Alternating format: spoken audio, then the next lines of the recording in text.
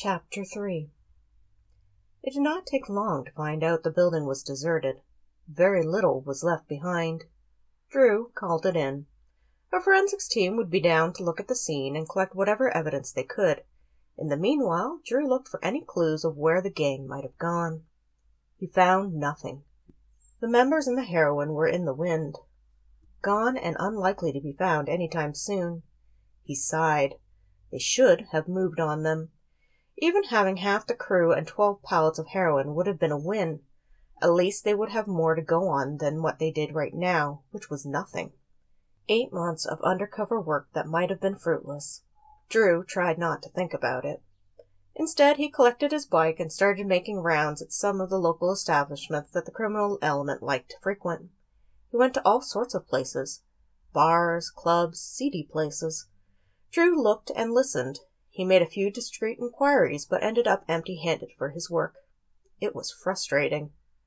Knuckles, Sam, Red, Hendricks, and Law all worked for a man they called Goals. Goals arranged when shipments of heroin would come in.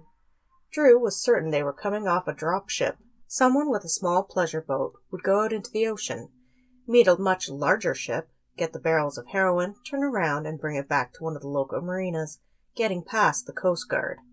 It was not an enviable task. If they got caught, it would mean real prison time. However, the Coast Guard could not inspect every boat going through. Not only that, but if a small pleasure craft did not break any laws, they tended to be left alone. It made for an easy setup to distribute the drugs in bulk. Goals would know when a shipment came. He, or someone that he was in contact with, would transport the barrels of heroin to a site then Goals' team would secure the barrels, bringing them to abandoned building, a rented warehouse, sometimes even a storage locker with poor security. Goals' team would weigh and split up the heroin into bricks. The drug was put onto wooden pallets. Sometimes they boxed it. Sometimes they just left it bagged, stacking them like bricks. One of the guys would rent a truck, and another would rent a forklift. The heroin was loaded and sent out to be repackaged and distributed further. At some point, it would end up in some addict's body. Twelve pallets had been a huge load. Usually they only did one pallet at a time. Drew privately wondered if there was going to be a halt in operations for a while and Goals had stocked up. If that was the case, he might not get a lead on Goals for a half year or more. All because one Maxwell Ramsley had stumbled on his undercover mission. It was ridiculous. Giving up, Drew went back to his apartment to dismiss Rookie Officer Cotter for the night. He found Max sleeping on his sofa, one foot on the floor, the other hanging over the end. He was not going to be very comfortable there, but Drew was not going to trade places. It was still his apartment the last time he checked. Cotter yawned as he headed out the door. The chair in the living area had not been very comfortable for the young man, but he had not dared to sleep in Drew's bed. It was a smart move. There were a couple of tabloids and other papers on the coffee table. Drew had a quick look. Sure enough, the police department's least favorite journalist, Sterling Denver, had penned a front page story on the tabloid about how Max was missing, presumed to resume to his wild and lavish lifestyle from his youth, thus skipping out on his poor beleaguered wife and two kids. What a bunch of bull. Then again, Sterling was known for not always checking her facts. At least she had managed to get the missing part right. As Drew locked the door, a snore erupted from the couch. Are you kidding me? Drew stared at Max Ramsley, who snored again. Loudly. There was a reason Drew lived alone. It was easier. He hated having roommates. He liked his privacy. He liked his space. He liked to have the place to himself.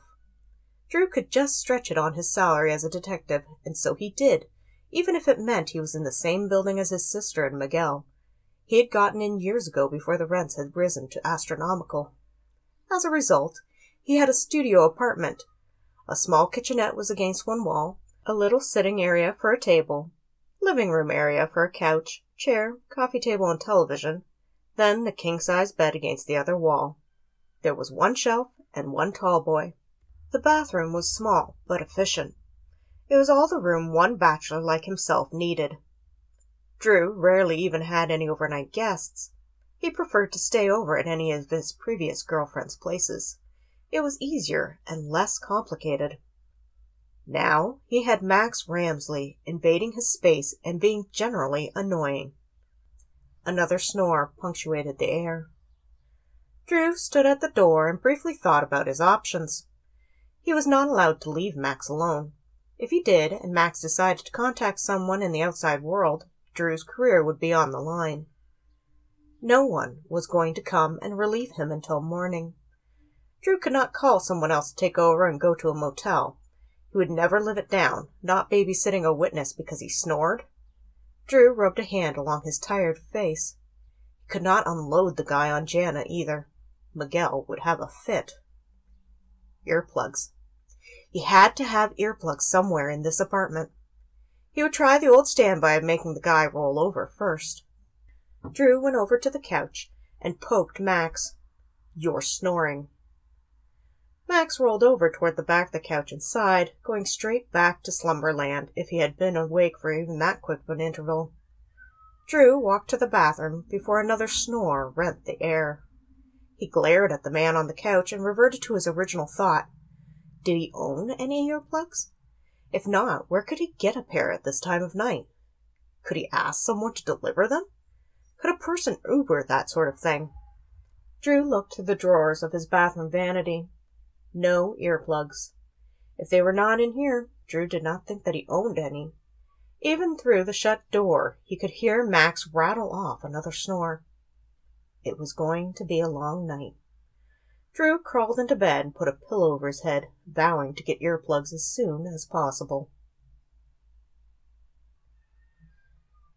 Bethany slowly undid her robe and slid it from her shoulders.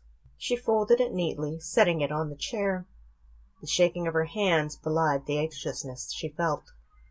Remember, cautioned Holly, the two lifeguards are here to help. I'm just going to stand on the side and encourage you. If you feel overwhelmed, you can stop at any time. You are in control of this. Bethany nodded, shivering. She rubbed her arms. She hated the one piece bathing suit she had picked out for this. It was the first one that she tried on, it was the only bathing suit she currently owned, and she had no desire to own another. Owning a bathing suit generally meant one went swimming in large quantities of water. Bethany looked at the pool full of water and wished she was anywhere but here with a violence that surprised her. Despite having cleanliness habits that bordered on OCD, she had an aversion for water, which was probably rooted in the nightmare that she had. This side is the shallow end, Holly coaxed her. It's not very deep. The bathtub in her nightmares was not deep. Bethany closed her eyes and pushed away the terror. She was sick of not knowing what had happened, why her life was different from so many other people's. Ignoring the cramp of horror in her stomach, she hugged herself with a grip so hard she was hurting her arms where her hands clenched them. Bethany jutted her chin out and marched to the side of the pool where the steps led into the shallow water. Breathing in short, sickly gasps, she submerged one foot on the cement step. She could feel cold sweat coming out on her skin. You can wait until you're comfortable before taking the next step, advised Holly. Bethany closed her eyes and shook her head. She was never going to be comfortable with this. Mostly she just wanted to get it over with. Going back, retreating, was not an option she was going to give herself. Bethany put her other foot into the water. She did not let herself grab the handrail. If she did, she would cling to it and never go in. Resolutely, she gathered her courage and quickly walked the rest of the steps until the water covered her knees, then her thighs.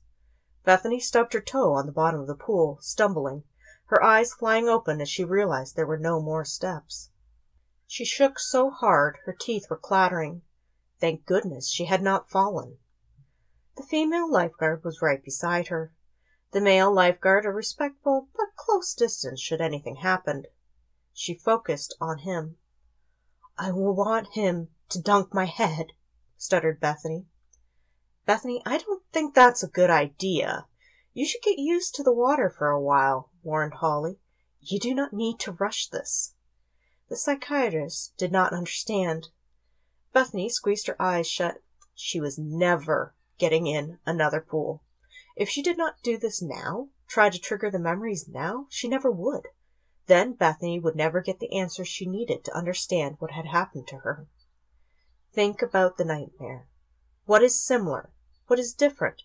Talk to me, Holly said in her soothing voice. Her feet. Her feet and legs were wet when they should be dry, she thought. Only her head, hands, arms, and shoulders had gotten wet. The edge of the tub had hurt her stomach when he leaned her over it, pushing her head under the water. The water was not clear.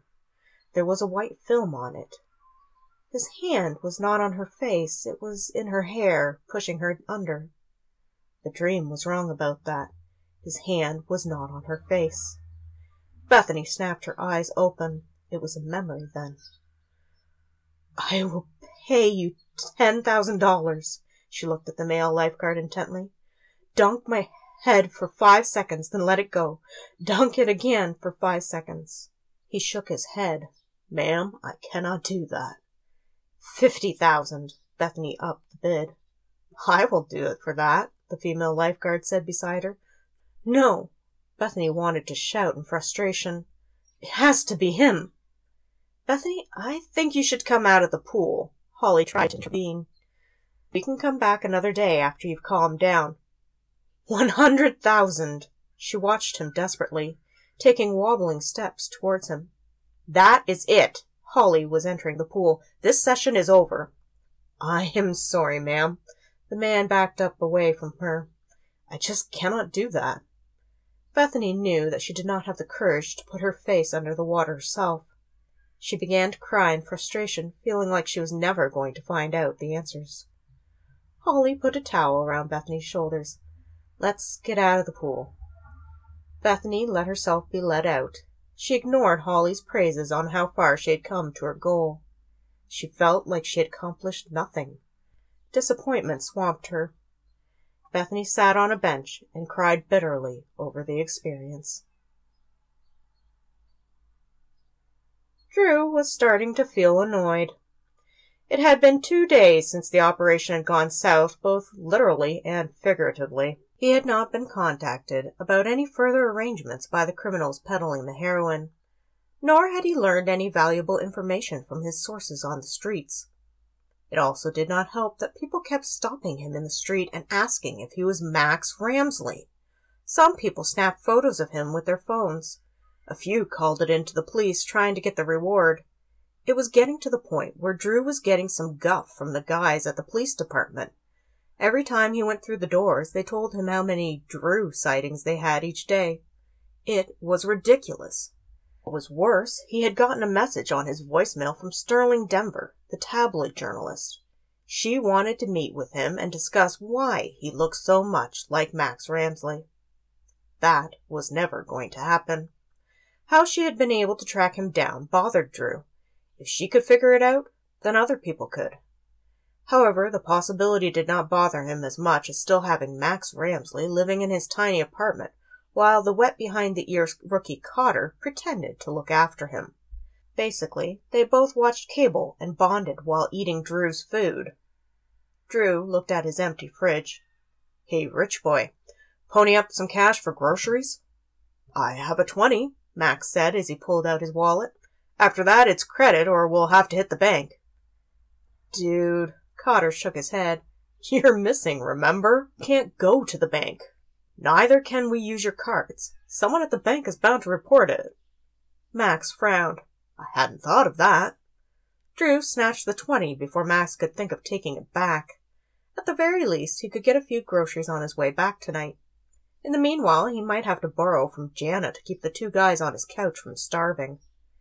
He wondered if Miguel had told her, or if he was being cowardly and waiting for Drew to do it. Probably waiting, Drew decided, since he had not heard anything from Jana. There she is. Max grinned and pointed to the television. That is my beautiful wife. It was on a national news channel. Drew inwardly groaned. It was one thing to be local, but to go national? What were they going to say when they magically found Max Ramsley? He decided it was not his problem. Green would have to take care of it. Mrs. Paget Ramsley tearfully pled for any news of her missing husband with quiet dignity. She was very pretty, and Drew could see how she might have caught Max's attention. Drew had a look at his half brother and realized the man was absolutely besotted with his wife. Drew inwardly shrugged. People were weird like that sometimes. Did you see the latest? Cotter held up a tabloid to Drew. He took it. Max Ramsley feared dead. Wife celebrates. Max grinned confidently. They are so wrong this time. Drew was not so sure. She was probably getting the best sleep of her life for the past few days. They had better get things resolved soon, or she might never take Max back. The article went on to say how Mrs. Ramsley was about to become a wealthy woman with her husband's shares from Ramsley Pharmaceutical when she was found to be a widow. Drew shook his head in disbelief and tossed the paper back onto the coffee table. Tabloid journalist Sterling Denver was losing her touch if this was anything to go by. There was a sound of a key in the lock and the door to the apartment opening. Drew immediately turned, and Cotter raised his weapon as the man with the tattoos on his neck and arm entered the room. He stopped and looked at them in surprise. Yo, you gonna shoot me or something? he asked, looking at Cotter. Cotter, put your gun away.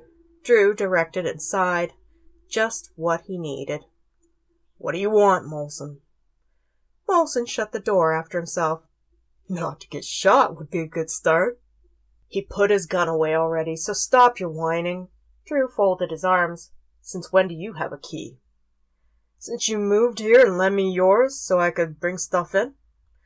Molson moved to the kitchen, looking through the cupboards and fridge. I made a copy at the local hardware store before I gave it back. Don't you have any food here? They keep eating it. Drew had a sneaking suspicion that Molson had been helping himself to Drew's kitchen throughout the years now that he knew the guy had a key. It would explain the times when Drew had run out of groceries sooner than he thought he should. Why don't you bum food off of Jana? What? And get the why don't you do something useful with your life for a change lecture again? Followed closely by the you are setting a bad example for my kids routine? Molson shook his head, grabbed a bowl, and poured some cereal into it. No, thank you. There is no milk, Drew remarked mildly. Jana did tend to lecture Molson a lot. It was part of why Drew refused to. I know it. Molson ran the bowl under the faucet, just like how Ma used to make it. Drew shuddered. He remembered soggy, gross cereal in the mornings when they did not have milk as a kid. It happened more often than not. That is just wrong. Max spoke up from the couch. Can you even eat cereal like that? No, Drew responded with a disgusted face as Molson took a huge spoonful and crunched it. Molson shrugged and kept eating. He pointed the spoon at Max. There's a reward for him. Do not even think about it, growled Drew. Cop starting a ransom thing? Molson plopped himself into the armchair and slouched, munching away. Pay too low? That one looks a little green to be holding a gun. Cotter frowned at the insult Molson gave him. I've been with the force for five years now. Huh. Molson nodded, self-satisfied with Cotter's response. Rookie on the NARC team. Who are you? Max asked in fascination. Oh, nobody introduced me? Molson pretended to look offended. Really, bro, I thought you'd have told Mr. Ramsley, third of the legitimate Ramsley children, who we all were. Drew sighed. He was getting a headache. Molson did that to him. Molson Colborne, meet Max Ramsley. Max, meet Molson. We think David Ramsley might be his father as well. He's my little brother, so I guess that makes him yours too. Max studied Molson with interest. I am. Molson crunched his cereal. I had a paternity test done. I'm from the old man. However, interesting enough, Jana ain't. What? Drew frowned at this revelation. How do you know this? Remember when Jenny was going through that scare with leukemia? They thought she might need a donor, said Molson. Jenny is Jana and Miguel's first daughter. She was okay, remembered Drew. It's not in leukemia at all. At the time, I thought I'd be a little proactive and see if Pops really was related to us all. Molson shrugged as he scooped another spoonful of cereal. Turns out he's not Jana's dad. Are you going to tell her? questioned Drew. Why? What difference does it make? asked Molson. Not like Mom's gonna remember who Jana's real dad might be. What are those tattoos on your neck? Do they mean something? Max was getting more intrigued by this family the more he learned. Those are gang tattoos, Cotter said shortly. He was not pleased with Molson. Although how he belongs to two rival gangs at the same time, that is surprising. Molson had a cocky grin. I'm talented. If you bothered to study them some, you'd see there are five gang tattoos on my neck. Most of them gangs do not like each other none. Then how do you belong to them all at once? Wondered Cotter, genuinely puzzled. Through this. Molson pointed the tattooed tear on his face, then the crosses on his forearm, and finally to the sixth tattoo on his neck. Are you a gang member then? Max asked, his curiosity aroused. Your brother and sister are cops, yet you joined the gangs Drew is trying to put in jail? Doesn't that seem a little, I don't know, counterproductive? Irritating, annoying, disturbing, Drew said sharply. I can think of a few other words to describe it. Molson, do me a favor. Tell me you are not going to let any of your gang buddies know that Max is here, safe and sound in my apartment. His location needs to be kept secret. I'm hurt. Molson placed a hand over his heart in a long suffering manner. My own flesh and blood don't trust me. You're right. I don't trust you. Drew scowled. Now see, that really did hurt. Molson looked at Drew, dropping the act. He grabbed his empty bowl and stood up. Don't you worry none. I'll do you a solid and forgot I ever saw him here. Molson clapped Drew on the shoulder as he passed him into the kitchen area, putting his bowl in the sink. Molson, I'm sorry sighed Drew. He hated fighting with his younger brother, but that was all they ever seemed to do. He knew that despite his brother's words, he had probably hurt Molson's feelings. Molson was just a master at covering up how he really felt on most occasions. Then again, when you lived with Wacko Margot, you had to figure out a way to hide your feelings. When you gonna go see Ma? Molson changed the subject as he walked to the door of the apartment. Never, if I can help it, Drew muttered, he had no desire to see her any time soon. I know she's a crappy person. Molson paused at the door. Yet she did give birth to you, you know? Drew decided not to answer. It was probably better for all concerned if he did not share his opinion of Margaret Colborne. Yeah, and you guys say I'm the disappointment. Molson shrugged and left the apartment, pulling the door firmly behind him. He is interesting, Max said from the couch. What does the tear under his eye mean? That he killed someone? replied Cotter. Really? Max stared at the young cop, surprised at the answer. Not necessarily. Drew defended his brother. It can also mean a loss. Not every tattoo means the same thing to the same people. It's a gang tattoo, like the crosses mean closer to the God or time spent in prison, stated Cotter flatly. Molson has never been in prison. He's never been arrested. Drew checked regularly to be sure. He did not like his brother's choices and worried about him. It was one of Drew's outstanding worries that Molson would someday be dead on the streets or in prison because of his ties to gangs. What was the other tattoo? questioned Max. The one on his neck with the five gang tattoos. That one I don't know. Cotter looked at Drew. No one knows. Drew sighed. Molson had never told him what it meant. Molson's the only one I have ever seen with that tattoo. It means something, surrounded by the five gang membership tattoos. Does he really belong to five gangs? Is that even possible? Max wanted to know. This was a possible half-brother to his family, a man with ties to gangs. With Molson, anything is possible, Drew said darkly. Are you going on the sting operation today? wondered Cotter. Drew nodded. He knew the rookie was disappointed not to be able to participate, but someone needed to watch Max. Drew was only going to be there as a lookout for the team at the marina as they scoped out a possible drug drop. Is this related to those guys from the building? asked Max. Maybe. We don't know yet. Max asked far too many questions, in Drew's opinion. Drew was not inclined to give him answers since he was only a civilian and this was an ongoing investigation. I am going to get some food, Drew made his escape while he could. Three floors down, he knocked on Jana's door. Miguel answered. You haven't told her? Drew asked quietly. I thought you should. Miguel answered just as quietly. I can hear you whispering by the door. Jana called from the kitchen. Now come inside and let me know what it is about. Drew sighed again. Morning, Jana. How is the grocery situation? What? You don't know where the store is?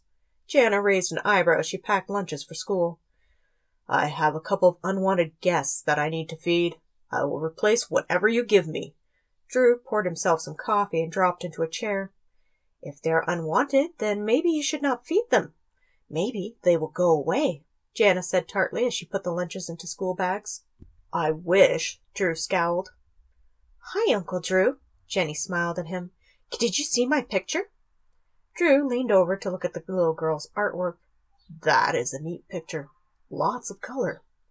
Thank you, she grinned happily.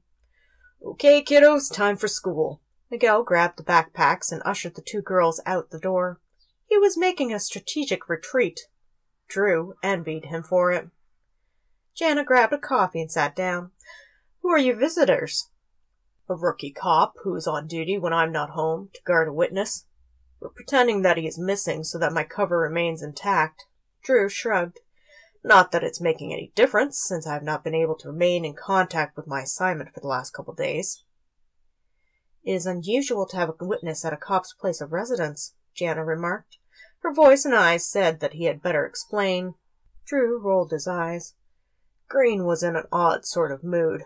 I guess it tickled his funny bone to give the guy to me since he crashed my operation. Who is the guy? Jana sipped her coffee. Everyone knew Green had not been in the best frame of mind since he started his latest kick of trying to quit smoking. Max Ramsley, Drew reluctantly informed her. The Max Ramsley? Jana put down her mug. Dad's youngest kid from his wife? Drew blinked in surprise. You know. You think that I wouldn't check on Dad's other family, just to see? Jana gave him a surprised look. Of course I know. I am a cop. I investigate people. Did Max know that he has half siblings? Not a clue, shrugged Drew. Thinks this is great. I expect we'll all get invited to holidays if Max has any say in the matter. Jana laughed. I don't think his parents would like that. What little I have gathered, I don't think he's on speaking terms with Dad right now. Drew drained his coffee. Have you seen Mom lately?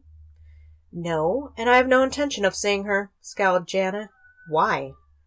Molson came around this morning. Drew frowned. He asked if I intended to visit her any time soon.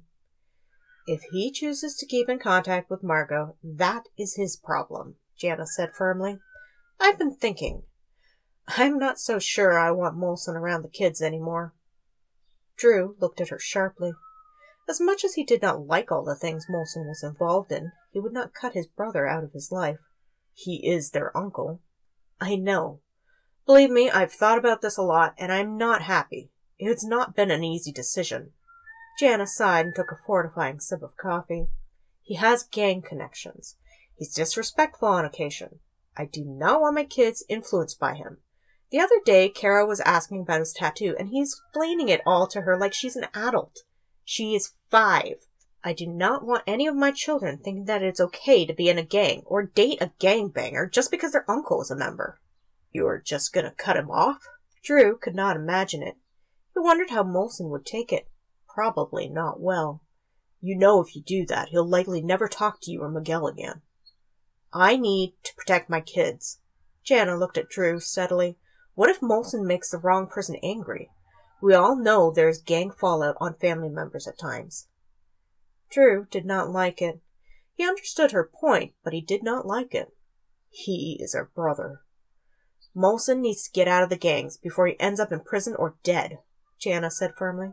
Maybe if I cut him off, he'll finally realize that what he's doing is wrong. Or he will be as stubborn as he always is and dig in further, Drew responded. Privately, he thought that Jana's lecturing Molson throughout the years had not helped the situation. A lot of times, if you told Molson not to do something, he did exactly what you did not want him to do. Then it is even more important that my kids have nothing to do with him. Jana got up and began to put breakfast away.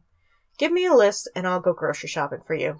I will even deliver to your apartment since it is time I get to meet one of the real Ramsleys. Drew sighed and opened his wallet.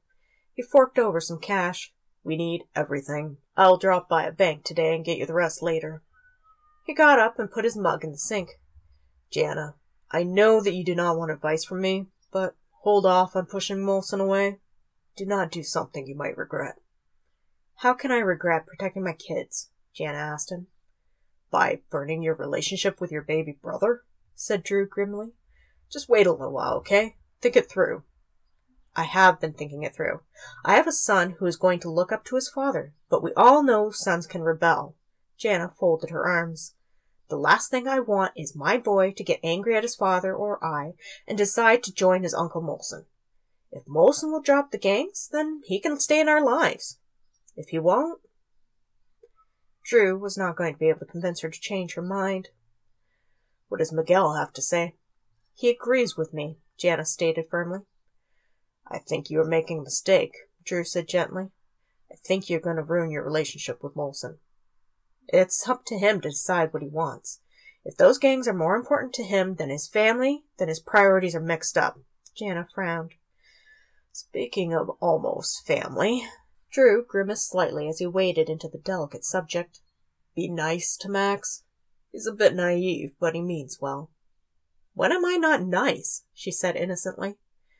Drew decided not to answer that particular trap and made his escape. I need to get to work. Jana waved him away. Thank you for listening to Chapter 3 of Love and Lies, Book 5 of the Ramesly Brothers series. Look for Chapter 4. Just a reminder, hit the subscribe button so that you can find all of my videos, including upcoming Ramesly Brothers series audiobooks. This is free for you and it helps my algorithms with the YouTube channel. Thank you and happy listening!